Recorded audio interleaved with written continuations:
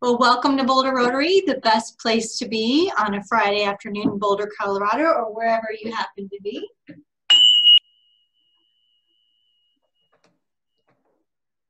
That's the official bell to start the meeting. and after that, I'd like to welcome Chad Stam, the president-elect, who will be leading us in the Pledge of Allegiance and the four-way test. I pledge allegiance to the flag of the United States of America and to and to the republic for which it stands, one nation under God, indivisible, with liberty and justice for all. Uh, and now, if you'll uh, follow me with a four-way test of the things we think, say, and do, is it the truth? Truth. Is it fair to all concerned? Will it build goodwill or better friendships? Will it be beneficial to all concerned? Thank you so much, Chad. That was great. Um, so typically we meet at um, the, the Boulder Jewish Community Center on Arapahoe, and we are a club of over 220 people. And we provided service to our community for over 100 years. So we're a very proud club of uh, proud community leaders. And um, I know we will continue to do that despite all the adversary, adversary right now. And we will um, open opportunities for those around us. So to welcome the guests who are here today, if you have brought a guest, please encourage your guests to use the chat forum so they can introduce themselves to everybody. They can list who invited them today, what organization they are with, um, and I just wanted to say thank you to all of our guests today. I see that Gary Kahn brought a great big list of people who are rejoining us, and, um, and that is fabulous. Um, last week, I reached out to you to ask you if you hadn't been on a committee yet and you wanted to truly kind of get involved in Rotary to reach out to me. So thank you to those of you who did. And I just wanted to put it out there again. So if you send me an email, we can kind of brainstorm together on what, what committees might work well to spark a passion for you. The other thing I wanted to do today was to give you an update on polio. So Rotary has been working to end polio worldwide since 1986 and has partnered with the Bill and Melinda Gates Foundation to make that happen. And I have some breaking news. Uh, we are now in the peak summer season with national immunization campaigns still sidelined by the COVID-19 pandemic. Immunizations are set to start back up in August, but the polio areas have substantially, substantially low levels of vaccination rates right now. The good news is that the new oral polio vaccine will um, no longer mutate to the contagious form. It is now ready for distribution. So that is wonderful breaking news. So with our new Rotary year, we have a new goal to meet, and that is $50 million to get to a $100 million match from the Gates Foundation. It is probably more important than ever to raise Polio Plus money this year. We are this close. As of July 8th, uh, Afghanistan had 29 cases of polio and Pakistan had 56 for a global total of 85 cases this year. We are this close. We just have to keep fighting. We're all very pleased that Dr. Don Berwick has joined us today. During his talk, please use the chat function on the right of your screen to write out any questions that you may have. A moderator will be collecting those questions, and if your question is selected, you will be notified via chat. You will be then asked to present your question to Dr. Berwick. So again, welcome Dr. Berwick. We are most fortunate to have you here today and you're coming to us from Boston to share your unique insights and important perspectives about healthcare in this challenging times. Um, with COVID-19 challenging all of our assumptions about how our healthcare systems and our institutions can and should serve us. A pediatrician trained and affiliated with our nation's most prestigious academic medical institutions, Dr. Berwick is recognized worldwide as a leading authority on healthcare, quality and improvement. He is President, President Emeritus, Institute for Healthcare Improvement, and former administrator of the Centers for Medicare and Medicaid. He is the co-author and or author of over 160 scientific articles and six books.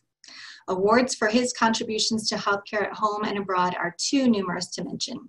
I'd like to point out one that um, one uh, award that makes Dr. Berwick really unique and that he was uni- he was knighted in 2005 for his work creating new care models in the UK for their National Health Service. So please welcome Sir Dr. Berwick to the Boulder Rotary Club. Well, thank you. Thank you so much, Sally. And uh, it's just a pleasure to see you all. And I want to thank uh, Gary for setting this up and uh, first uh, suggesting that I might join you. It's a real honor. And I happen to know you live in probably the most beautiful place in the nation. And I wish that the time had permitted for me to come out to you and uh, be there in person because that would be such a pleasure for me. Um, I don't know much about the Boulder Rotary Club or what your uh, what, unites you. I, I heard your pledge and and uh, and and your your promises. That sounds wonderful. Um, I'm going to take this opportunity just to reflect on my own uh, views about where we are now in the COVID-19 situation, and and to carry quite a bit beyond that. I'm going to explain how in the past um, really year or two, but certainly accelerated by the crisis we're in now, I've started to think a little more deeply about more moral issues. So I'm, I'm going to end up at a pretty high level, uh, hopefully not high minded, but um, a high level of conversation about what I think we need to do in this country. Now, the, the talk that I'm giving you was originally created for my colleagues in the healthcare world. And I know some of you are in healthcare, but by no means all of you. So there may be certain elements of it that speak more to clinicians and leaders of hospitals, uh, nurses and doctors. But but I, I, will really love to get your reflections on how this um, this uh, kind of resonates with your own world, whatever that be. And I hope you'll push back hard on what I'm saying because it's pretty edgy, but uh, I feel strongly about it, and I and I welcome I welcome the dialogue, and and maybe the debate. Um, the um, the context of COVID-19 is where I'll start. I'm going to try to screen share and hopefully that will work. Uh, and you can tell me if it's working. Hold on one second here. Uh, can you see this uh, okay, Sally? Is this the screen is sharing? Good news. Okay, so. Yes, it looks great. Okay. Um, so uh, I'm going to start with COVID-19, but and you'll see me broaden out uh, pretty fast. So, so here we are in, in really the greatest uh, global pandemic, certainly of my lifetime, the greatest, the biggest since 1918, uh, and a challenge to the healthcare system beyond anything I had ever imagined really was possible. Um, I can tell talk more about the the, con- the context of that pandemic, and you may have questions about it. I, I try to be a student of it, but um, I was asked by the Journal of the American Medical Journal of the American Medical Association, on on whose uh, uh, oversight board I sit, uh, to write a paper. They said, would I write a paper on the new normal? That is what, what will emerging from COVID when we finally do be like. And I said, well, I really can't do that. I don't have a crystal ball. I, I, I don't know what the new normal will be. I know, though, that the COVID virus is uh, raising some uh, really interesting possibilities for us that I frame here as choices. I'll, I'll, read you the first paragraph of here uh, of this paper for your interest. I wrote the severe acute respiratory syndrome coronavirus 2, SARS-CoV-2, has only 15 genes compared with 30,000 in the human genome, but it's a stern teacher indeed. Answers to the questions it has raised may reshape both healthcare and society as a whole. In this paper, I uh, went ahead and tried to define what I thought were six choices that the virus and, and the pandemic are presenting to us, not just, by the way, in this country, but this is a global issue. Uh, th- these are the six I spoke about. Uh, the first was speed.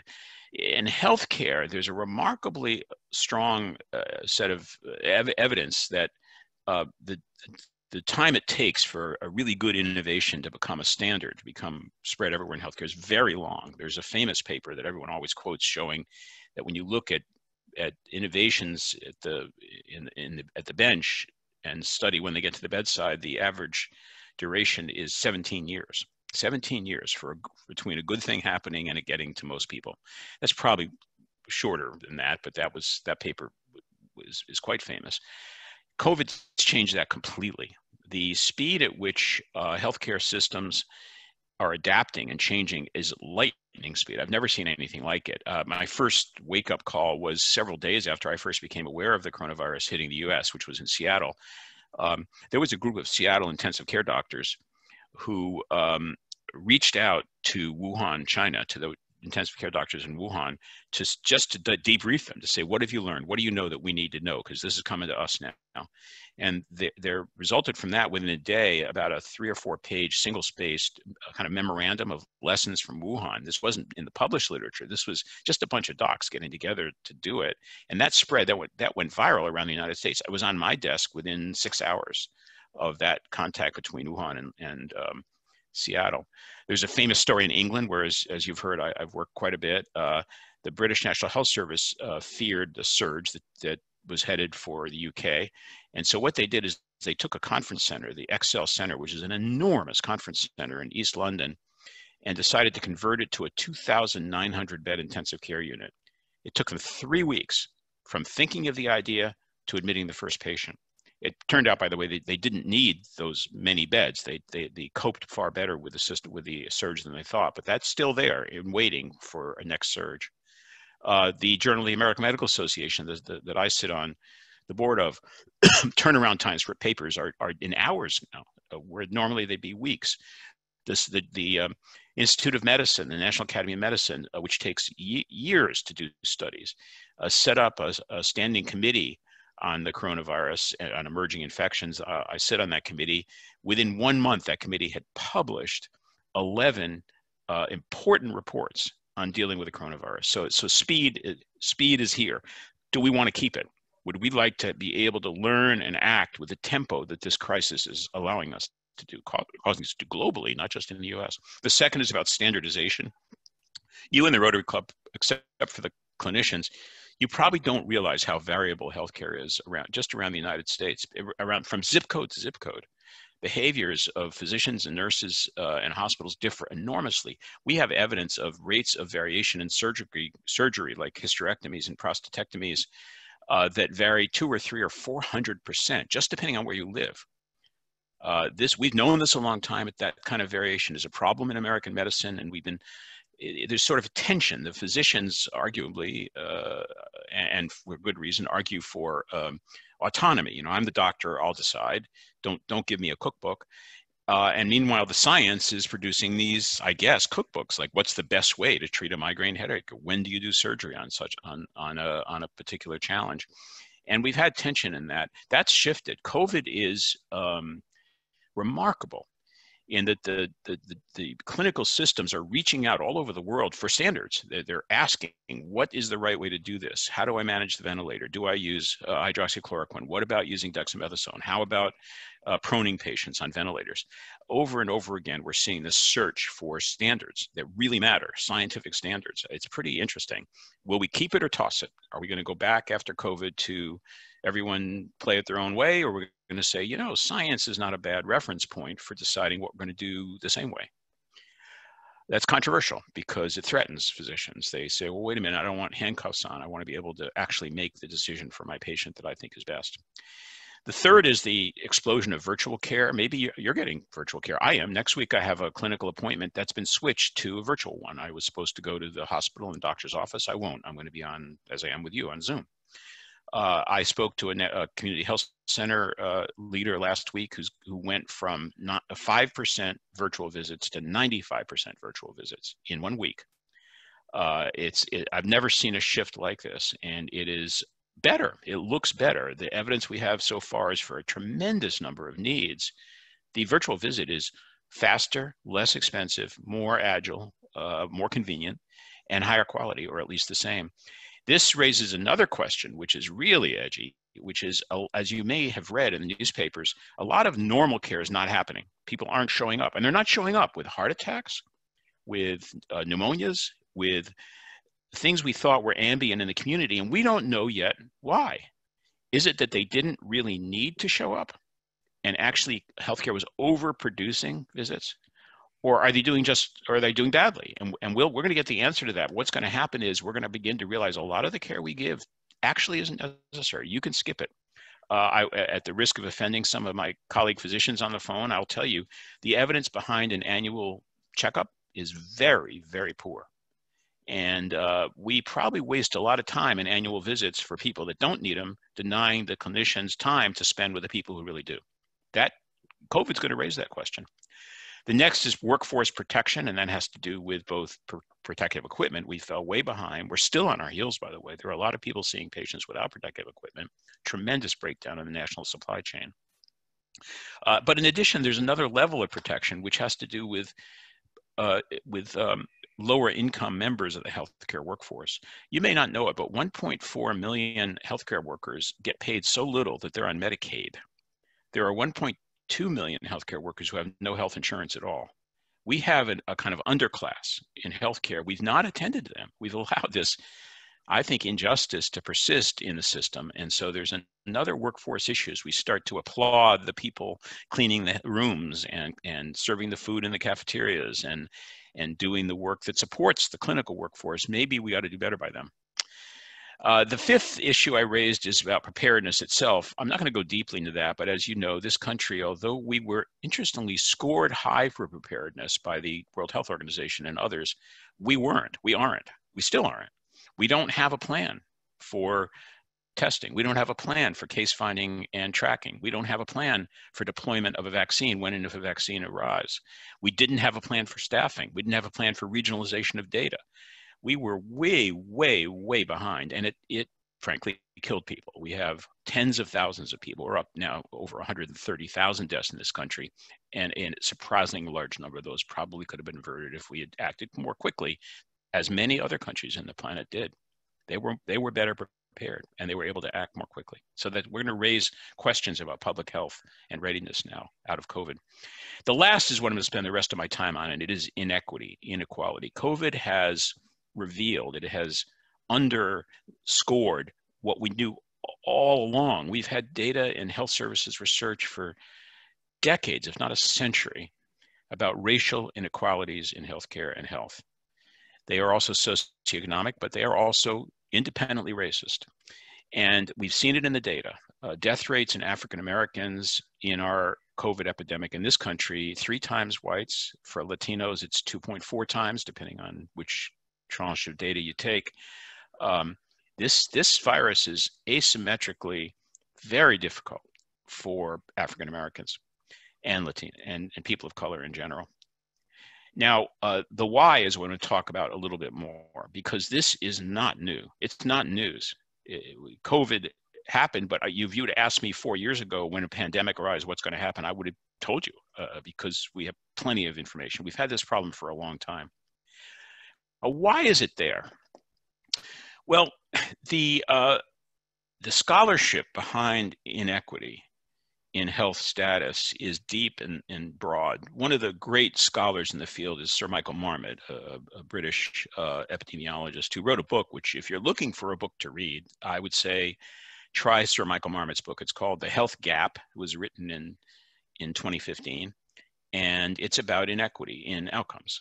Uh, why do blacks have much more morbidity than whites? Why do poor people die sooner than than rich people? Why why do uh, children of color have much much more chronic illness than children uh, than majority children in this country and in other countries? Now, Michael um, traces it all to inequities, to inequalities. Now, it's a it's a it's a little um, it's a little more subtle than that. I'm going to take you a little deeper into the, this nature of this inequity, but let, let, me let me show you some things. This is the healthcare data I just showed you. We're unequal inside healthcare. 1.1 million kids and 800,000 healthcare workers live in poverty. They're, they live below the poverty line in the United States. These are healthcare workers, they're employed. Uh, the the uh, 10% earn so little they get healthcare through Medicaid, and 1.4 million have no health insurance at all. So we, we, we inequity is not something that lies out there from the point of view of the healthcare system. It's deeply embedded even in our healthcare system. Now, Marmot explores these inequities. Why, why would people be so much sicker when they're poorer or of color? And, and the answer is has a kind of wonky name. We call it social determinants of health. That's the term that's used in the scientific fields. Um, and there, Marmot particularly outlines six of them. Uh, the, here's where the evidence is extremely strong. It begins in early childhood. The experiences of kids around birthing, uh, bonding, early uh, early childhood supports. Uh, people of color and people in poverty have um, a much higher rate of um, problems with supports to, to early childhood. And this echoes down through adulthood. Uh, there's an index uh, called the um, called the Adverse Childhood Experience, the ACE index, ACE, which is simply a count of the number of exposures kids have to really serious stresses, violence in their communities, um, food insecurity, and so on. Kids that have four or more ACEs have something like two or three times the rate of heart disease when they become adults. The same for lung cancer. They have 14 times the risk of having problems with substance abuse. Early childhood is, shapes us, it's, it's a shaper. Now, countries that invest in redistributional tax policy, that in other words, take money from the wealthier people and put it to the service of people in the lower end of the spectrum, can sometimes virtually erase these inequities in childhood experiences. This is a matter of solidarity in communities as to whether we who have the resources reach across to those who do not to correct this. The same plays out in the education world. Uh, people at the lower end of educational achievement have much higher morbidity and much lower life expectancy than people at the higher end of educational achievement. That also can be erased. Countries that have progressive financing, tax, and social service policies erase the relationship between educational level and longevity. The work in the workplace matters, uh, uh, both salary levels and also uh, uh meaning in work, workplaces where there's protection of workers against being uh, exploited. So experiences of elders matter. Uh, communities that have good infrastructure for elder care actually have longer life expectancy overall. And then there's this category number five, community resilience. If you want to predict uh, the life expectancy in a community, look at things about the community like its transportation system, its uh, food security, uh, environmental threats, uh, parklands, uh, housing adequacy, because those properties of communities predict lifespan in the communities. And that leads to Marmot's sixth category. He calls it fairness. It's a commitment to equity inequities in power, money, and resources give rise to inequities in the conditions of daily life, which in turn lead to inequities in health. That's Marmot's conclusion. Now, let me show you how this plays out uh, in data. And we're going to come back to COVID in a, in a, in a minute or two. Uh, this is the subway map for London.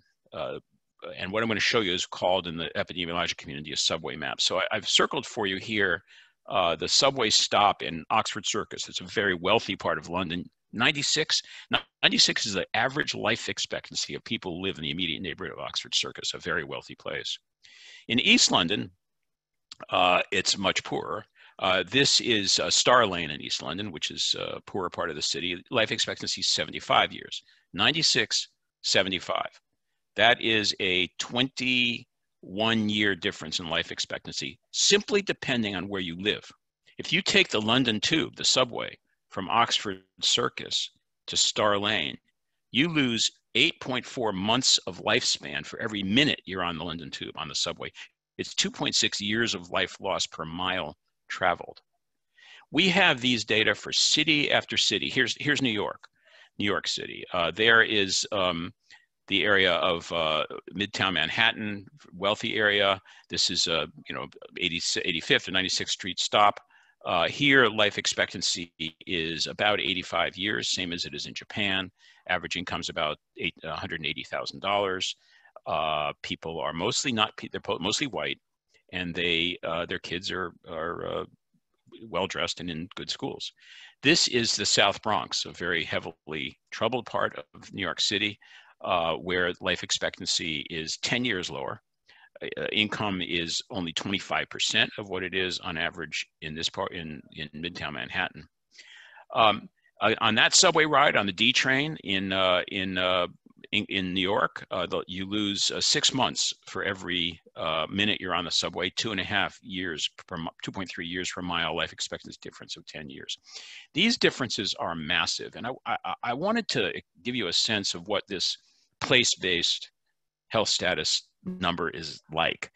You lose six months for every minute on the subway in that D, on that D train in New York. Now let's compare um, that to healthcare. Uh, this is a, I don't know how many of you are on statins. I, I want to ask you, it's your private information, but it's one of the most widely used drugs in, in the country. Statins lower your cholesterol, and it's a bit controversial. They, they may, we're not totally sure, but they may prevent some heart attacks and some deaths. And there's a lot of literature on this, which varies, but there was a summary which I grabbed here from the British Medical Journal uh, some um, years ago, a couple of years ago, and it said that on average, when they reviewed all of the statin studies, they said death was postponed between minus five and 19 days uh, in primary prevention, that is, if you don't already have heart disease, and between minus 10 and 27 days in secondary prevention trials. Overall, the, the, the most favorable, the most favorable result found is that for a year on statins, you save approximately one day of life. Uh, for 20 years on statins, you lay, save 20 days of life. Um, that, uh, let me see, 20 days of lifespan, uh, which is the, the benefit of taking statins, a miracle drug for 20 years, is how much lifespan you lose riding the D train in New York for seven seconds. In Glasgow, Scotland, where the first uh, subway map ever was drawn, uh, riding the Glasgow bus for 43 feet uh, lowers your life expect, expectancy uh, as much as statins adds life expectancy in 20 years. This plays out in real serious forms of inequity in American life. This is uh, for men life expectancy starting at age um, age uh, I think that's 50 for depending on year of birth. So here were men born in 1920, men born in 1930, men born in 1940, men born in 1950. And steadily over time, you can see that the poorest 10% made almost no gain in life expectancy at, during this 30 year period of birth. Men who were born in 1950 are now, of course, 70, 79 years of age. Um, people at the top end of the income spectrum made substantial gains in life expectancy. For women, it's even a more interesting result. The poorest women in the United States lost life expectancy during this 30 year period of development, uh, substantial loss of life expectancy compared to those at the top of the income ladder. So the, um, the, the social determinants of health we're talking about, early childhood experiences, education, workplace, uh, community resilience, care of elders, fairness, are massive, massive uh, determinants of health status and longevity compared to anything healthcare does anywhere for almost anyone healthcare, in essence, is running a tremendously expensive repair shop. We're spending three, tr- three and a half trillion dollars, 18% of our gross domestic product, repairing damage done by that list of social determinants in large measure. Genetics does have an effect, but the social determinants are at least 40, probably 50% of the variation in health status in our country. So um, we have to cast our eyes in a slightly different direction to, to, to to wind this up into a package. Uh, this, of course, is the is the tragedy of the murder of George Floyd. Uh, something that seems to have woken the country up uh, at a level I haven't seen since my days in the civil rights movement in the 1960s. I don't know if if this uh, new awareness of the depth and, and toxicity of institutional racism, structural racism in the United States is going to lead to anything any real change. I think a lot that depends on this election cycle, frankly. But we are um, we are in a country in which we've allowed social determinants, including one's race, to be the determinant of lifespan, opportunity, and well-being. Now, thinking this through has led me to a place that I feel uncomfortable about, but it is what I want to share with you in the final minutes of my initial presentation to you. So these things that I showed you from Michael Marmot, uh, the effect of early childhood on well-being, uh, the uh, consequences of workplace conditions, the uh, conditions of education and the relationship to health, uh, the, the basic driver of poverty as an underlying uh, cause of tremendous inequality in life expectancy and health status, and racism itself, the heritage of slavery. we've this is all known. These are this is known for decades. As a medical student, I took courses in which people lectured about these social determinants. and to, to be pretty accurate and pretty uh, make a pretty bold summary statement is we haven't done anything about it. We haven't done anything about it. Nothing that's really worked. Not if our goal is health as a society, not for the people who are more disadvantaged in our society. We continue to have run the repair shop uh, on a dime in a large city. We'll spend uh, half a billion dollars building a brand new hospital tower. We'll, we'll add to our catheter suites in our hospitals. We will, uh, we will do more surgeries and celebrate it. Uh, but the underlying causes remain unaddressed and according to a lot of the data continually worsening and as a physician now approaching the end of my career i keep i'm now at a point where i'm saying well why? Why? What is what is stopping us? We're a compassionate country supposedly. We we're, we're a wealthy country definitely. We spend more double any other country's budget on health care. Where is the investment in the social conditions that underlie the inequities and disease and outcomes in our in our country where's the investment in those subway maps and reversing that now as i said the original talk i'm giving you was uh, in december i gave to a very large healthcare audience and i was saying well you know what i think we better take responsibility and by we, I mean healthcare in this case. Uh, most healthcare people would say, well, I, I am in the repair shop. I'll fix people when they come to me. I'm not responsible for George Floyd's death. I'm not responsible for the fact that uh, a million healthcare workers have no health insurance at all. I'm not responsible for failures uh, to protect our children in their early years of their lives. I'm not responsible for unequal income distribution that leads to toxicity. And I'm making a I'm making a counter argument. I'm saying, yes, you are. You can't occupy 18% of the gross domestic product and take a pass on the underlying determinants of health and well-being. Now, speaking of the Boulder Club of Rodeo, uh, uh, the, Bold, the, the Rotary Club of Boulder, I, I don't know. I don't know Boulder. I don't know the socioeconomics. I know Colorado. I know that Den- I could have shown you the subway map for Denver in effect, and it would pretty much look the same. I know the inequ- inequity is there. I know the racism is there. And I guess I'm, I'm starting to think that we, and by we I mean healthcare, but I also mean we, the, the citizenry in our own corporate locations, we've got to start to take responsibility for this. So we are we are surrendering to a level of inequity and suffering in our country that is avoidable. So I put out a, a, a call for a campaign in healthcare in December. I, I don't it, I, I know it feels a little crazy, maybe it is, but here's stuff that we would do if we if we in healthcare or you in whatever industry you in said we're, we're going to fix this. Enough isn't enough. We're going to stop admiring the problem as they say in the military and actually fix it. Here are the seven steps i could think of for starters. One is we would insist that the us ratify major human rights treaties in the in the international community. We remain aside. We have not united states alone among democracies has failed to ratify major human rights treaties in the UN system. Treaties protecting migrant workers, treaties protecting women, treaties protecting children, uh, conventions on human rights. We're not there, we need to go there. Second, among those conventions is the International Declaration on Human Rights, which includes healthcare as a human right in our nation. Let's be clear, healthcare is not yet a human right in our nation. There are over 30 million people who have no insurance at all there are 50 to 60 million whose insurance is totally inadequate to their needs. And I believe it is time, no matter whether you're Republican or Democrat, no matter what you believe in terms of the role of markets or not, we, I say we should call the question and make healthcare a human right in our nation. Third, uh, our abandonment of leadership in climate change is a terrible insult to health and the planet. We have not even begun to see the dramatic effects that are going to occur with climate dislocation, refugee, climate refugees, climate warfare, climate zoonoses. And uh, I believe in this case, I was speaking to the American healthcare community, we need to say, no, stop it.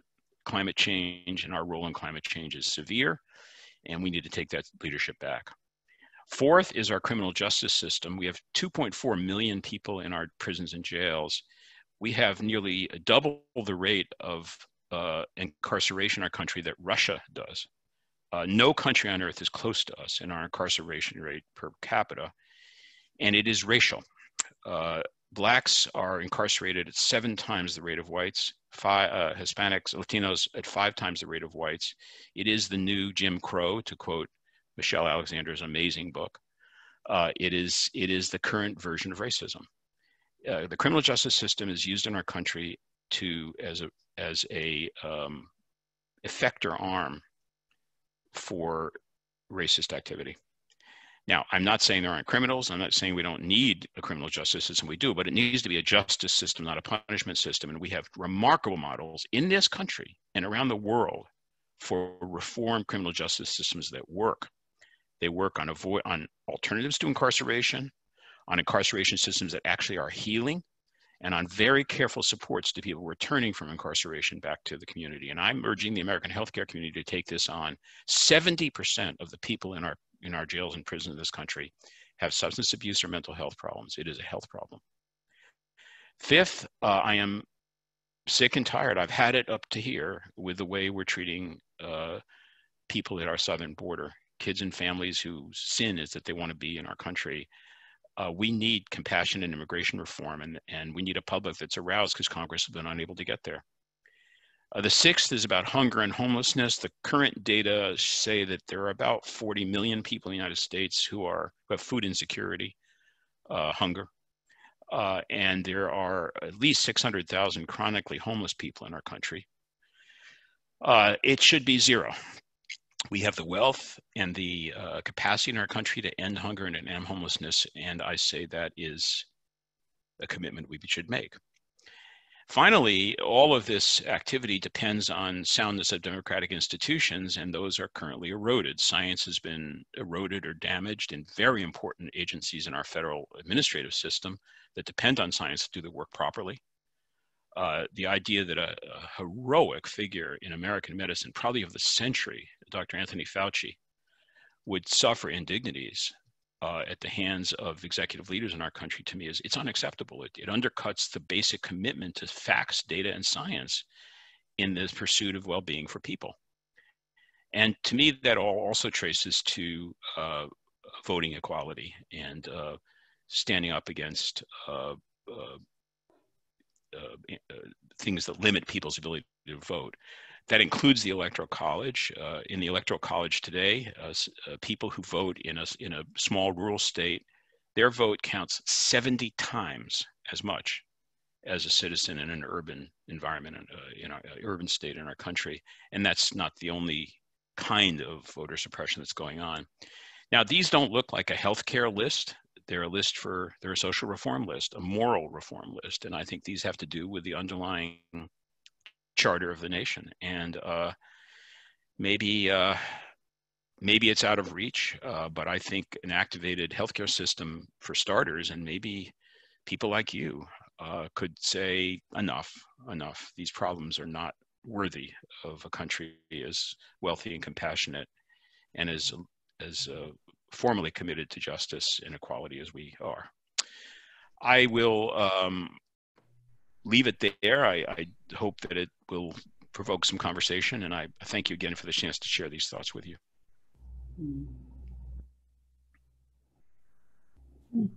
Thank you very much, Dr. Berwick. We really appreciate it. That was an incredible talk. Uh, I'd like to open the floor now for questions. Uh, our first one comes from Susan Buchanan about missteps. Susan? Mm -hmm. Well, thank you so much, Dr. Berwick, for your comments. I worked in the uh, nonprofit healthcare field for 20 years, so uh, had too much time to observe the inequities and uh, being handcuffed to providing the best care that we possibly could, although I think we did a pretty good job. But my question for you is whether you think that the Affordable Care Act had any appreciable effect on the quality or access to health care in this country. Uh, thank you, Susan. I also, you, I, I, believe you put in another question also, did you not, about speed of change? Uh, they, they, they, said I could only ask one. Uh, okay, I'm gonna I'm gonna cheat on your, behalf. uh, I'll, do that one first. The speed of change. Yes, uh, when we move as fast as we are now, you know, testing drugs, trying new ways to use a ventilator, uh, trying new approaches to antibiosis, there is a risk. We can be we can we can um, we can do harm by mistake, but there are ways to do that. I, my field is quality improvement, and by the way, there's been great work on quality improvement in the in the, in Colorado, real leading state in that. And so, as long as you use the methods of improvement in which you take steps and instantly reflect on what happened, you learn from every patient, you make make the system transparent. Uh, absolutely, uh, absolutely, you can uh, you can do this kind of change at pace and learn constantly. And I can give you more examples of that. Hmm. Well, the Affordable Care Act, as you know, I'm not a, I'm not a trustworthy respondent. I, I was the administrator of the Centers for Medicare and Medicaid Services under the Obama administration for the first year and a half of the Affordable Care Act. So I, I took, I was, I led the implementation for about 70% of the Affordable Care Act. Mm-hmm. I think it's on the whole a success. Uh, it doesn't go as far as I wish it would. I have publicly uh, stated my support for a single payer system. I, I believe the country would be better off with a national a single national health insurance system, basically as if I'm, I'm on Medicare. I don't, I, I don't, I may get COVID and I'm worried about that, but I don't have to worry about money in COVID because I'm, I've got insurance. Uh, and there are 30 million people that don't now. Another uh, four and a half million lost their insurance when they lost their jobs just in the past three months. Mm-hmm. No other country tolerates that. Affordable Care Act worked upstream against that, and so it provided more coverage. About 20 about 22 million or 23 million more people got coverage thanks to the Affordable Care Act. Uh, and coverage got better for everybody else. We we put in the Affordable Care Act puts in prevention benefits that were never there before. It put in a limit uh, uh, mandatory components of health insurance, so you can't get junk health insurance plans. That you've got to have 10 essential benefits. So when you buy the insurance, you know it's going to be there. Uh, more transparency. Um, unfortunately, the current administration has eroded that. We are we we, we reached our peak in coverage in 2016, the year uh, that President Trump took over, and it's gone steadily down since then due to maneuvers that the federal government has engaged in. And, and um, people are now in the COVID epidemic. They're having a lot of trouble getting insurance uh, due to uh, barriers and lack of uh, supports that the administration is giving. That we could reverse that. The Affordable Care Act did.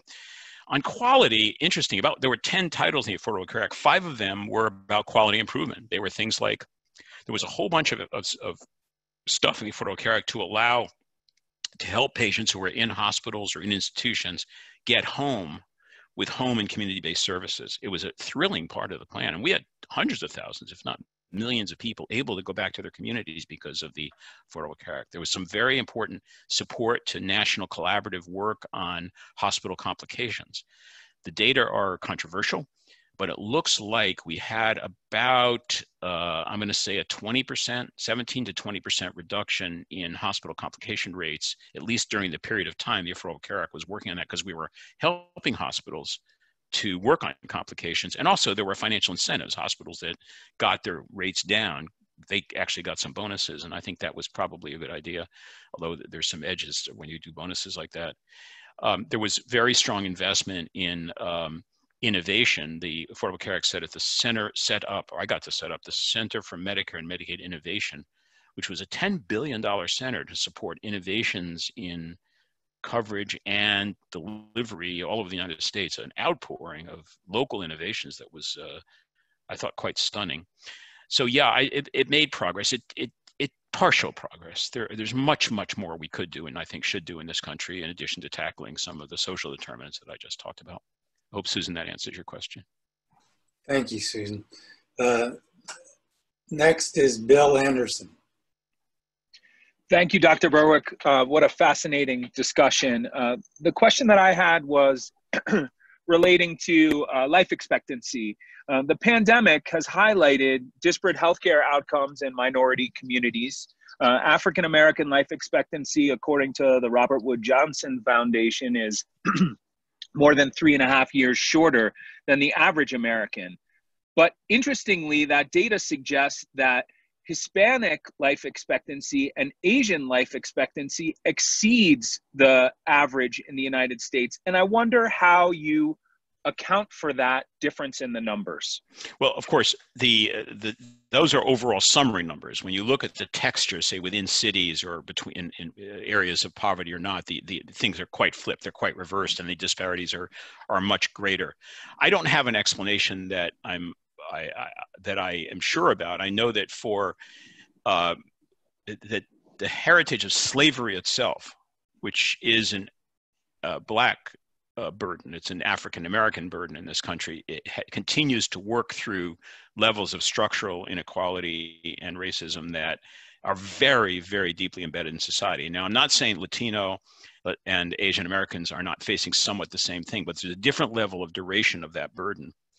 Uh, but a lot of it has to do with with the socioeconomic status that people find themselves in, and the poverty rates are very, very high in the in in the in communities of color. Uh, the one other thing you didn't mention, which I, I, I want to add to your list, Bill, is uh, Native Americans. Uh, all of the numbers we're looking at are worse for Native Americans, also, especially uh, uh, both urban and and um, and those in Indian country. Uh, I find this that should have been on my list of the moral determinants that we, we are tolerating. There, 40%, 40% of the people who live on Navajo reservation don't have clean water. Um, we, you know, we have these levels of, of uh, abandonment of duties uh, and tribal and uh, treaty obligations to Native Americans that are playing out in very, very bad health status. Thank you, uh, Bill, and thank you, Don. Uh, okay, uh, let's see. John, John Sullivan, can you unmute and ask your question?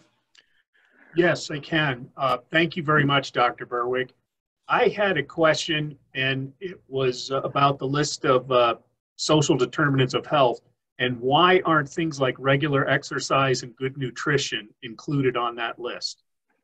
They, they are included, sir. It's um, it, uh, what Marmot does is analyze the availability of these as structural properties of communities. So his whole category of community resilience has to do with food security and food opportunities in um, in uh, depending on, on the wealth and, and equity across communities.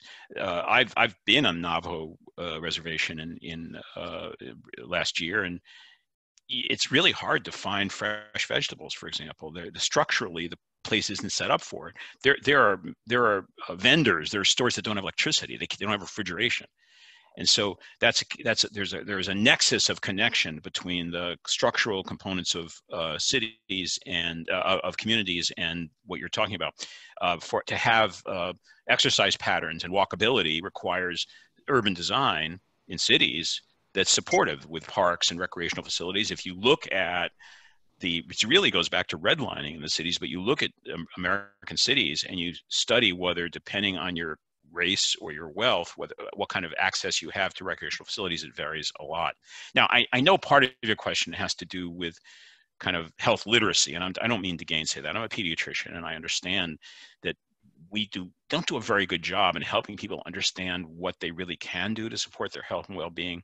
So I, it's not a pure thing, but there is a relationship between poverty and disadvantage on the one hand, and the opportunity to live healthy lifestyles on the other. Thank you. And Don, I, I, I, want you to know we have a project to bring, a, a, large project that our club is very proud of, bringing clean water to the Lakota Sioux up in Pine Ridge. Thank you. Pine Ridge is such, I mean, it's a, it's a test case. You know, the, the, the, the conditions in Pine Ridge are such that if we set about to say, you know, with with the kind of compassion your four, what do you call it, the four ways or four part four way test, yes. Take the four way test to Pine Ridge and apply it, and we would behave differently. Uh, than our country does. Thank you for doing that, Gary. Uh, by the way, um, th there's a professor, is it Willem van Vliet? Yes. Who sent me a remarkable email yesterday with an attached um, uh, essay that I, I, didn't know about. It was from the Boston Review. It's something that I would recommend to anyone to read, but it talks about mobilization of, of, of, in that case, clinicians, physicians, and nurses and others toward a kind of solidarity to tackle what we're talking about, just like you're saying you're helping Pine Ridge, Gary. I don't know if, if, if Professor Van Vliet's on the on yes, the, he's, he's yeah. happens to be a guest today, and he's up next for a question. Great. Okay. I uh, look forward to listening to him. Yeah, Gary, thank you for uh, for inviting me and this opportunity. And Dr. Berwick, uh, many thanks for your, your thoughtful comments. And I'd almost say keep on talking because you begin to address the very point that I wanted to, to raise. And if I were to, uh, to couch it in the form of a question in relation to inequity, uh, I think my question would be if you can comment on the relationship between the need for an individual's responsibility in the sense of ability to respond uh, on the one hand, and on the other hand, the need for collective action given the weight of established institutional forces whose chief interests are in maintaining power and making profits. It's a, uh, a short question, and I'm afraid uh, uh, a lot more time is needed to address it. But in the available time, uh, if you could begin to speak to this, uh, I'd, I'd, be very grateful. Thank you, Professor Van Vliet. I, I, I welcome your thoughts about it too. Um, let me. Um, okay, there, there, I think the I think one should take your question at two levels. Level one is uh, it, what it, what can an individual do, a single person? We just heard Gary talk about reaching out to Pine Ridge. That's a courageous and very important thing to do. I think as every single person in the country who cares about the the disparities we're talking about, there are you can speak out. Just just the fact the Boulder Club uh, the Rotary Club of Boulder is willing to talk about it, that's that's progress. That means we get a chance to put our heads together about it. You can speak, you can write. Uh, Willem sent me this um, remarkable essay. We write op-eds. You can, you can put pen to paper and talk about this. Uh, you can you can work. There, it, there isn't a city or community in the United States where there isn't some organization working on just about everything we're just talked about. There are amazing organizations in this country trying to work on criminal justice reform. You can connect to them as an individual. Go to work with them uh, as as a citizen, and most importantly, you can vote. We've got to start voting for leaders who embrace the goal of justice. I, I don't know another another way to say it. And the turnout rates in this country are abysmal. They're embarrassing. And I think this is a certainly this cycle is one where universal voting is key. I think I can address uh, Willem's other point best by by screen sharing again. Uh, there is there is it's a very edgy thing, and I, I don't know your politics in the Rotary Club. Or you, I may be talking to a, quite a Republican group. I, I really don't know, but um, there is there is uh, an inescapable matter here of redistribution of well of wealth. Sick people are poor, poor people are sicker. People of disadvantage are of disadvantage, and the concentration of money is aligned with the concentration of opportunity. So, whatever side of the aisle you're on, if you want a healthy community, we're going to have to take resources and move them from people who have a lot to people who have far less and, and build those infrastructures we're talking about. I, I want to show you a, a slide that, that uh, this, uh, I don't know, maybe you already know this, but this has to do, oops, sorry, um, showing you my emails. Okay, here is a slide that summarizes effective tax rates in the United States in the period 1962 to 2018. This is what tax policy is in the United States right now. For the bottom 50% of income earners in the United States, their effective tax rate has gone up in this, what is that, 58, 54 years, from 22.5 to 24.2%. For the middle 40%, uh, from 25% to 27%. For the richest 400 people in this country, their tax rate in this period of time fell from 54% to 23. For the top 1%, from 51 to 31 for the top 10%, from 43 to 31, uh, excuse me, from 33 to 29. This is regressive distribution of wealth. This is, this is exactly the opposite. It's concentrating wealth in the country instead of using our wealth to reach out to provide some of the infrastructures and schools and early childhood experiences and workplace conditions and elder care and roads and, and bridges and and parks and food security that we're talking about. And it, it's it's wrong policy. I, I think it's wrong policy whether you're uh, on the right or on the left. Because it, it, it builds an unhealthy country. So that's my view of the collective responsibility willem and it begins with that commitment. Thank you, Don. Um, I think we have we have one more question, uh, and then we'll uh, have our responder, uh, Hans Wick. Uh, George Russell, you had a question? Yes, my my uh, daughter is worried about schools. I know a lot of pediatricians say kids are not a big transfer uh, mechanism. What are your thoughts on it? Would you let your grandchildren go to school? I have seven grandchildren, and the answer is yes right now, uh, but only under uh, certain conditions. Mr. Russell, so the, here's the, here's the thing. Um, it, it, demands a lot of the public to have a kind of uh, mature, uh, balanced view of the situation. The answer to Mr. Russell's question is we don't know. We really don't know. The data are not in. We, the COVID's only been around since January. So we, we don't we don't have that long a history of data collection about this particular bug. We're getting it fast. You know, uh, supporting the scientific community to gather information is, is very important, which is why undercutting CDC and I mean this craziness withdrawing from WHO. I just it, it boggles my mind. We need the science. So at the moment, where we are now is we know that not being in school is really hurting a lot of kids. That's very very difficult it's hurting a lot of families, especially lower income families who can't afford the child care and they're forced to choose between child care and work. So there's real, real good reasons to say, look, let's try to get kids back into the into the schools that that are that are there for them. The evidence so far is that for young children, spread from young kids to adults seems very rare. Most kids who are very young who carry the virus, and there are a lot of them, don't seem to spread that virus to adults at anything like a high rate. Now, that may prove not to be true. We're going we're to find out as we go along. But I think if we open the schools uh, with, with clever ways to distance kids from each other, to wear masks, to maybe stagger participation so not all the kids are in the school at the same time, to develop another idea is very interesting to develop bubbles so the same kids are always with the same kids which will of course spread, uh, decrease spread from group to group. I think it's. I think we should go ahead and try it. That's my current view, given the current data.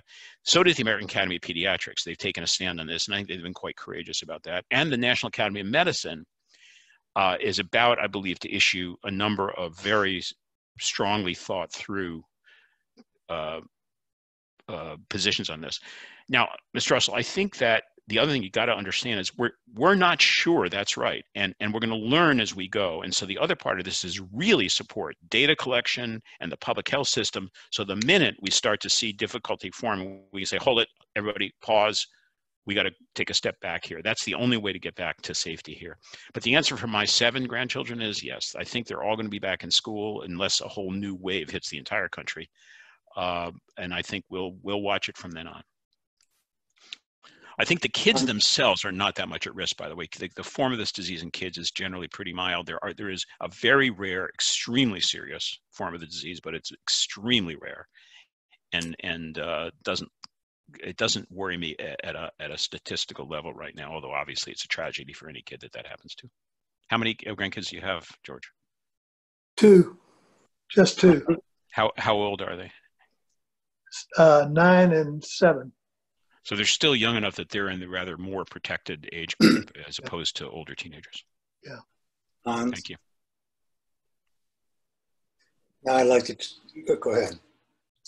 So thank you, Dr. Berwick, uh, for just a wonderful, thought-provoking presentation. Um, I can tell you uh, just from a couple of uh, asides here that uh, I've got two grandchildren as well, and I've been in uh, not-for-profit healthcare for over 40 years and actually have had the privilege of attending many of your IHI conferences when I was a hospital CEO in Orlando. And I thank you so much for your leadership in terms of the attendance and the work that you've done in the improvement for both the quality and, and improving the health and quality of our US citizens and across the world. So it's just a great privilege to have you presenting to our club.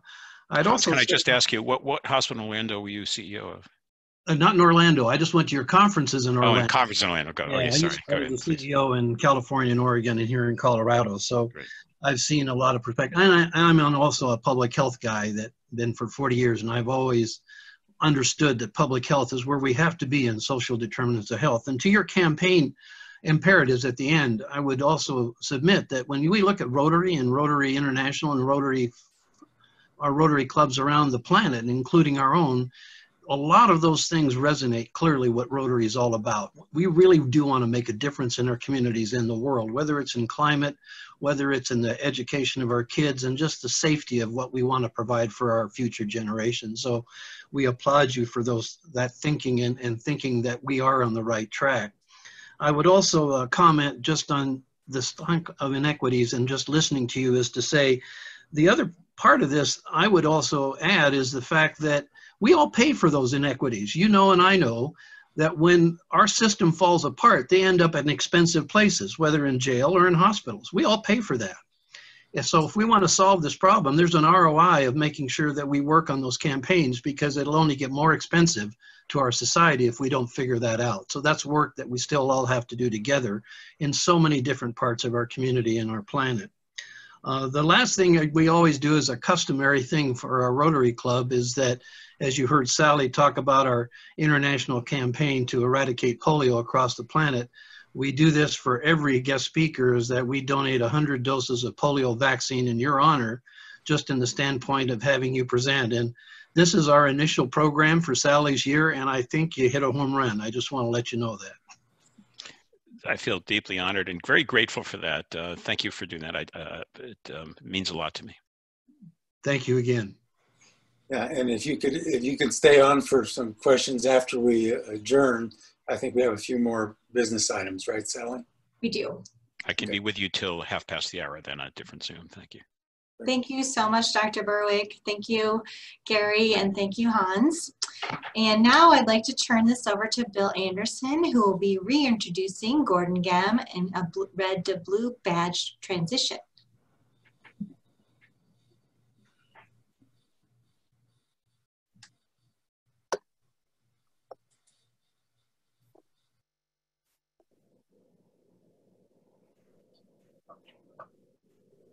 Great.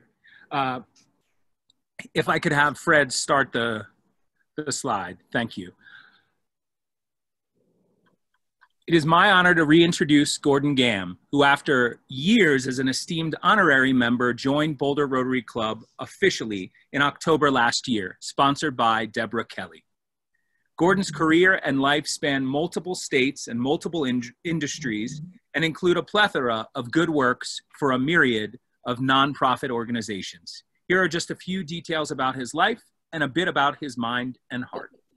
Gordon is a retired attorney, an active investor, a humanist philanthropist, and an author who lives in Boulder with his wife, Grace. Grace also is a Boulder Rotary Club member. Gordon was born in Louisiana, majored in philosophy at Drake University, received his law degree from Tulane University, and 20 years later also received a PhD in communication science from Kansas University. A man of many interests and hobbies, music has always held a special place in Gordon's heart. He started piano lessons at age five or six and plays by ear. He was the first chair trumpet player in the high school band and also student conductor. Gordon and Grace are ardent supporters of a number of music related causes in the Boulder area, including the University of Colorado College of Music, the Dairy Center, where two renovated theaters bear their names, the Boulder Philharmonic, and the Colorado Music Festival. Gordon has said that to live life without art is to have a lifeless experience that could be duplicated by machines. Gordon is the founder of the Boulder International Humanist Institute and says the common thread in his humanist philanthropy is a sense of justice for all.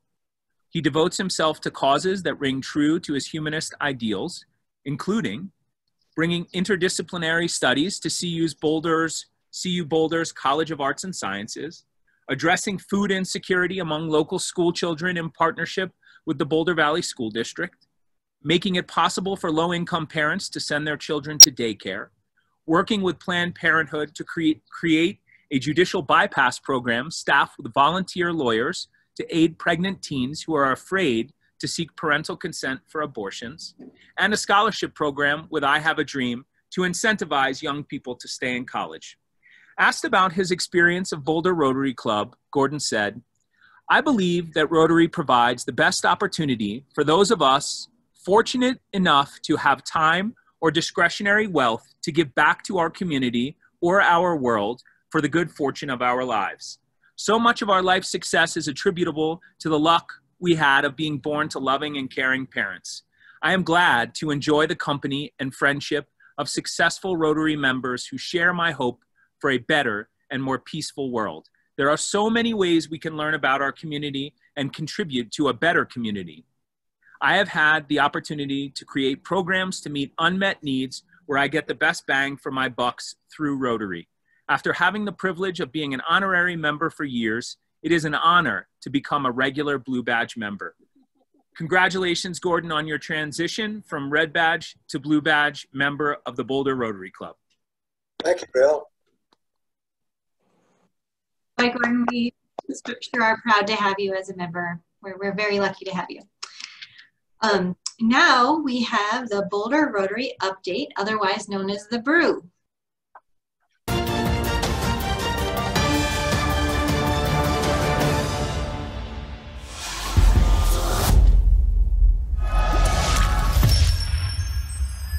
I made that. All right, all right, all right. Starting off the new year with Danny Lindau. You're at the base best. you are at the best place to be on a Friday afternoon here at Boulder Rotary. July is New Leadership Month at Boulder Rotary. Thank you in advance to the officers and the board of directors. And thank you, Sally Brown. Well, that pretty much kills the tradition of making fun of the current president on the MP4, but there are past presidents. And thank you to Bob Kemp, our new district governor from Denver Mile High Club. And to our area governor, Mr. Mike, I love Daryl Brown, Brady. Ugh, it's bloody hot. And the forecast for this weekend is bloody hot. Impact on Education has planned a virtual fundraising event to benefit Crayons to Calculators. The virtual event will take place on August 6th from 7 to 8 p.m. The one hour fundraiser will include entertainment and a live auction. Boulder Rotary has reserved a virtual table and is looking for members to help fill our table. Please contact Don James or Larry Johnson. Congratulations to our award winners announced last week. First off is the environment, which is now a new Rotary area of focus. Second is Anne Marie Reeder. She is the quiet hero. Quick Start Award, Bill Anderson. That's a good looking couple right there. And the President's Discretionary Award goes to the World Community Service Team. And the theme award of Connects the World goes to our awesome Vroom Committee team. Humanitarian Award goes to Jancy Campbell. And playing the role of Lifetime Achiever is Carol Griever. Service Above Self is Kitty DeKeefer. And our Rotarian of the Year went proudly to Mike Brady. Congratulations to all award winners. Well, and light news weeks equal long vignettes. Rotary! Rotary! Woo! What's up, lady? I gotta talk to that man down the end. The one in the black hat. Hey! Lady here wants to talk to the guy in the black hat. Hey, fella! You in the hat! The lady down the end wants to see you. What does she want? What does she want? What do you want? Tell him, I want to fill my life with service above self. I love humanity. I love helping. I love She loves Rotary. Well, Tell her, uh, I'll Tell her, tell her to join the club.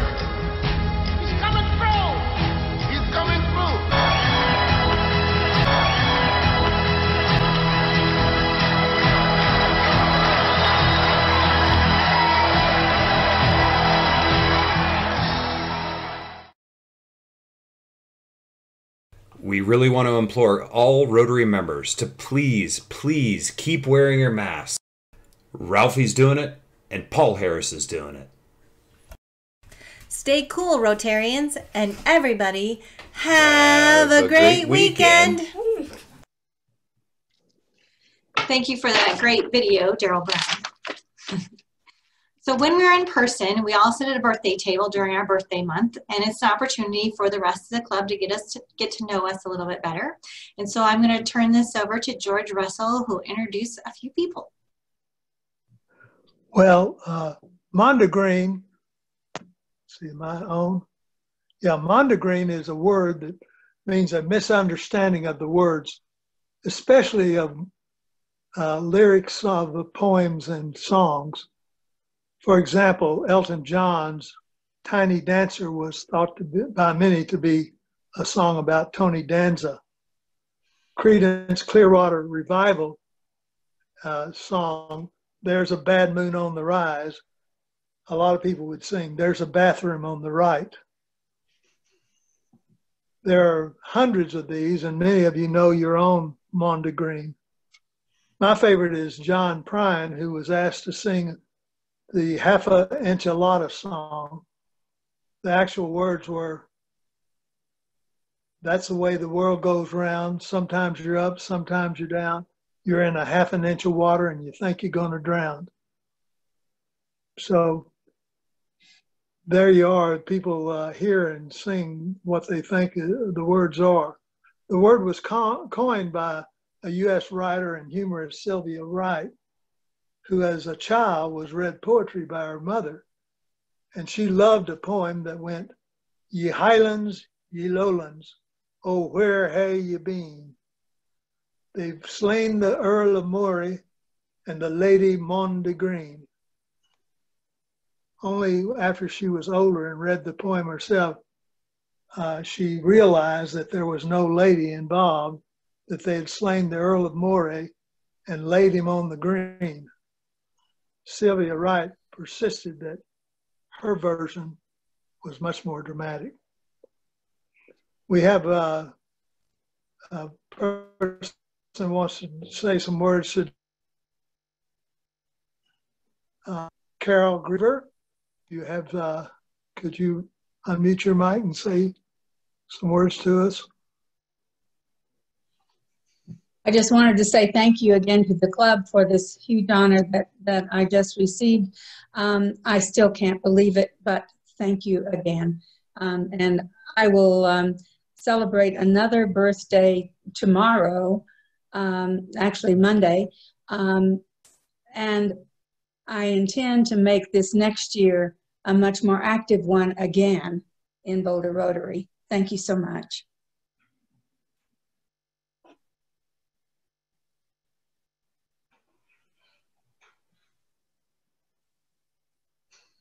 Well, uh, happy birthday, everyone. Be sure to let me know and if you want to say some words next time and all the people that were uh, born in July. Thank you very much. Thank you, George. And thank you to everyone who joined us today. There are many, many guests. Um, I'd like to give a special thank you to Daryl Brown, the past president greeter, Chad Stam with the pledge and four-way test, meeting management specialist Fred Hull, Bill Anderson, the red badge chair, Cassidy Murphy for helping to keep me organized and a million other things this week. Mike Brady for helping to organize the Zoom chat questions, Gary Kahn for bringing us this wonderful speaker and moderating the questions, Hans Wick for responding today, and thank you to everyone who had a, play, a part to play in putting this all together, and there were so many. Oh, so stay cool out there, stay safe, and have a great weekend. Uh, we are going to uh, have opportunity to uh, chat with um, Dr. Berwick for a few minutes if you'd like to stay after.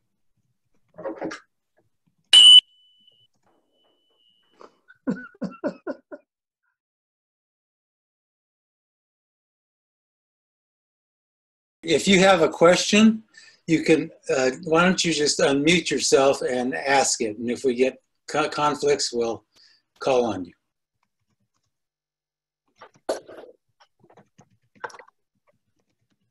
Gary, I had a question. This Gordon. Go ahead, Gordon. Um, you indicated that early childhood um, experience has a dramatic impact on on uh, inequities and uh, the impact on, on people's lives. And my question is, uh, what is your impression about demonizing uh, access to contraceptives and abortion? It seems that most women that have abortions already have children and that they uh, want to be able to afford to take care of the children they already have. And I wonder how, how, how much that contributes to ch- children being born to parents that resent them, don't love them, and don't have the resources to provide for them. Uh, it seems like uh, demanding that women be treated as criminals and put in jail for having abortion seems uh, like a, a, poor solution for uh, for this issue of early childhood development. What, what's your opinion about that? Thanks for the question. I, um, I mean, I, I regard it fundamentally as an issue of, of women's rights, and uh, and uh, perhaps I can best um, address your question by with, a, with a positive uh, word. We, what we know is that um, uh, children who experience uh, any of a series of what are called toxic stresses, that's another term for adverse childhood experiences, have much poorer health, much poorer educational outcomes uh, as children, and much poorer health and well-being as adults. Uh, but we also know that intervention in early childhood to support uh, families and kids works. Um, you all know the Head Start program, which has been studied very deeply, and um, we um, we know that reaching out to families that are under great economic stress or uh, other forms of disadvantage uh, to help them build supports for kids, uh, helping the kids helps. Helping the parents and the kids helps even more. And so, it's a really interesting finding that when you're able to help work on the kind of relationships you're talking about, Gordon, where you're you're you're uh, supporting, especially in single parent environments, mothers or fathers or single parents to to, uh, to to address both their own parenting needs and their own their own needs for work and food security and self-esteem things get a lot better. So whatever has set up any of the internal conflicts that you're talking about attributing in your case uh, to demonizing abortion uh, this is this is remediable by compassion and proper scientifically grounded programs of outreach to families, uh, in uh, especially families in in in poverty. Um, that really works. You know, for uh, the the uh, the I don't know about evidence about children who who were born despite their mother's wishes. Um, and the prevalence of stresses in kids. But I, I, I do know that it's possible to really support families to take to take to, to give the kids the love they really want to give them uh, once they're born. By the way, you, I think you all probably know that Denver has been the home of some of the best research on uh, child well-being uh, in the world, and so you're very close to one of the real intellectual centers to address the kinds of concerns that Gordon's talking about. Yeah, the Kempe Center. Right. Kempe Center. Yeah. So, uh, George uh, Germany, you had a question. Did you? Are you still here? Okay. I think we've lost George.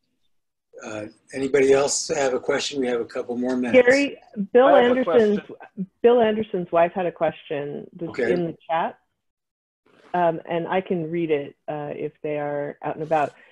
Um, Dr. Berwick, given the increase in life expectancy, do you consider raising the age of Medicare eligibility as a viable solution to the dire financial situation?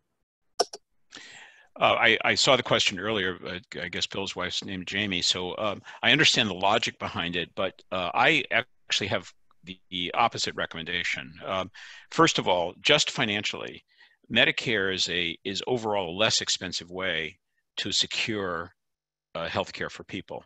Uh, it because it does administrative pricing and has programs on price controls. Uh, Medicare actually gets a better deal than commercial insurance. So if you adopted Jamie's idea and had people move from Medicare back to commercial coverage, costs would go up, not down.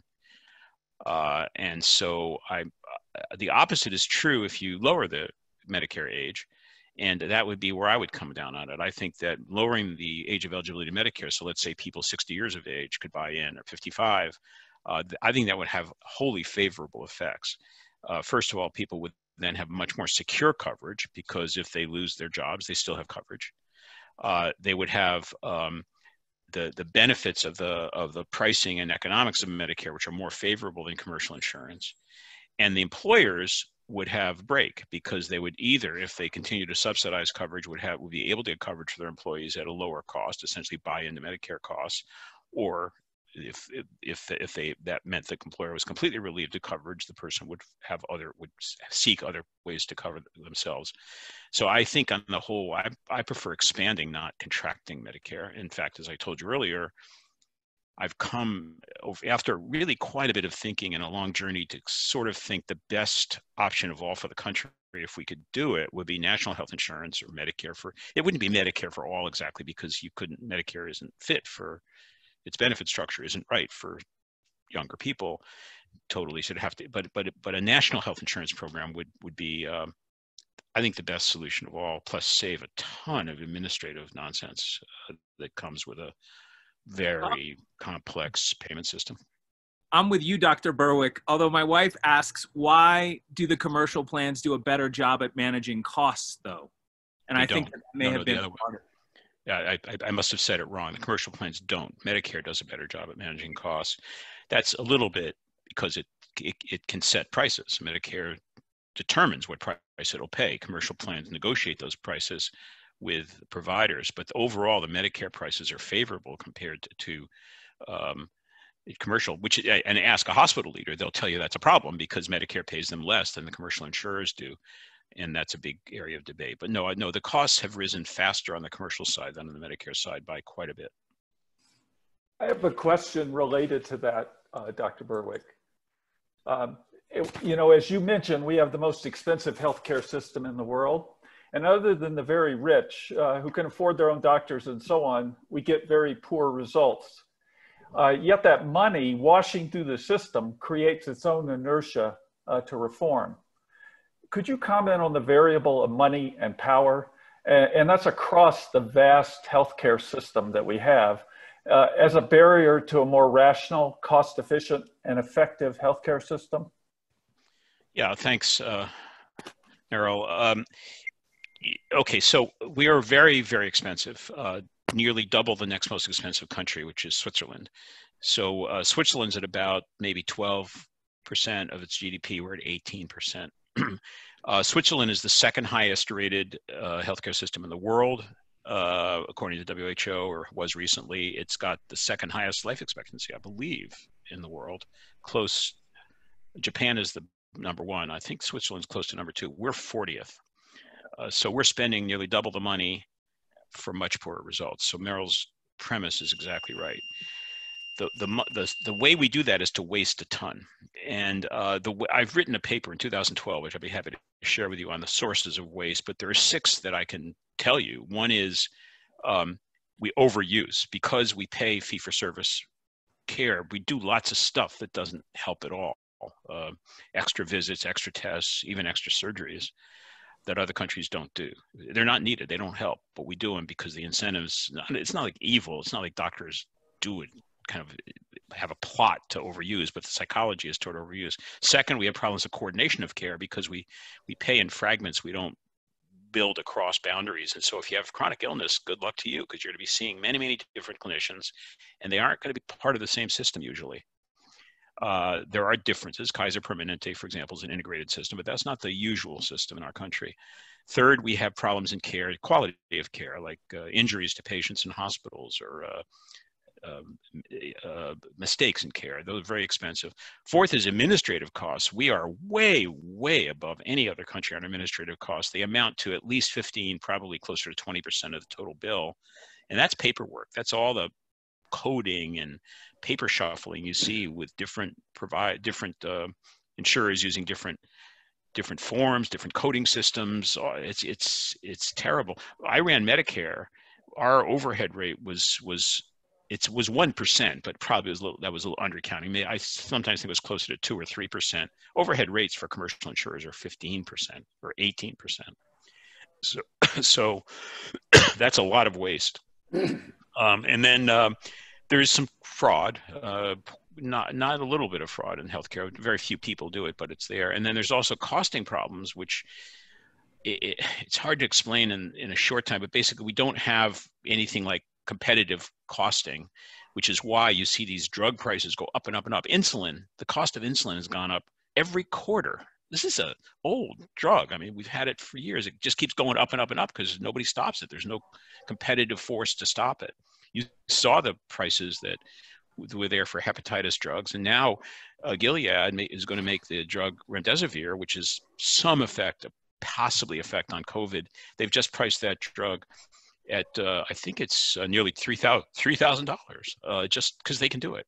So we have a lot of problems that add extra costs to the to the system, and that makes us very very wasteful.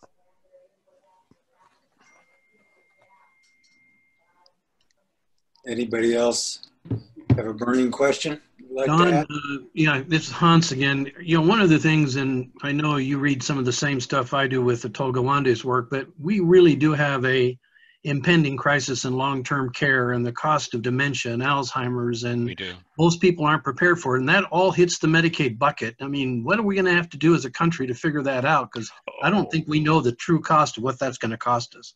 It's massive, Hans. It's already costing us. I mean, the, the costs are enormous. We do not have a systematic approach to care of elders, uh, let alone demented elders.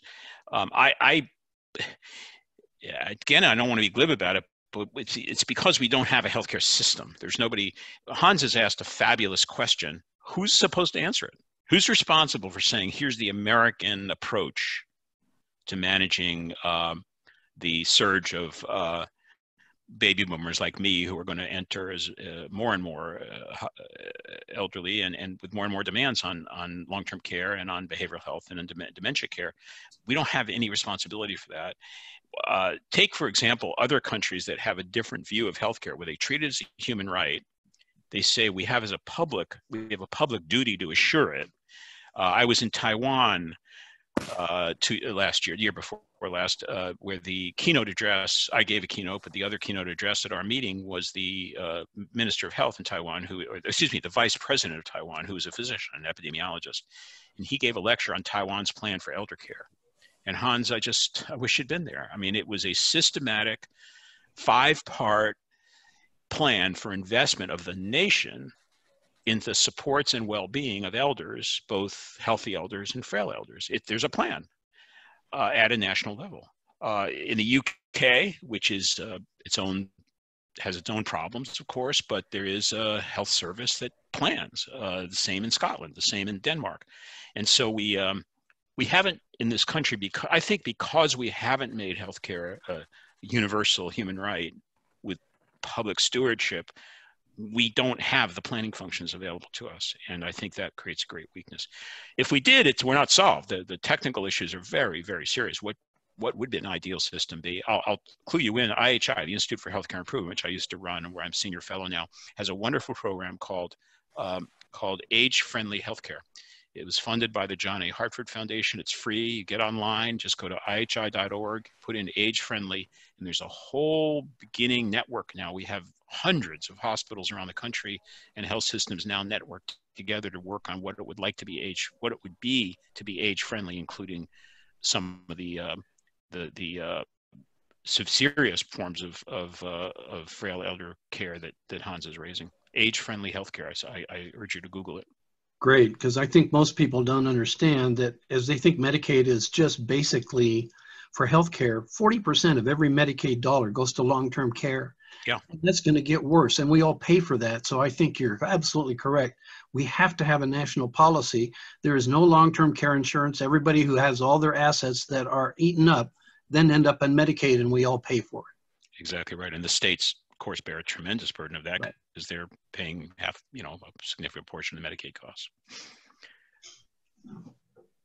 Well, it looks like we arrived at the time that you, I've got a pumpkin. We, yeah. we promised, we promised we to say goodbye. So thank you again so Thank much, you. Dr. Berwick. It was fantastic. Thank you all. It's been a pleasure to be with you, and I hope to visit you in person sometime soon. Thank you. Well, we hope Thank you. so too. Thank you. Bye bye. Thank you.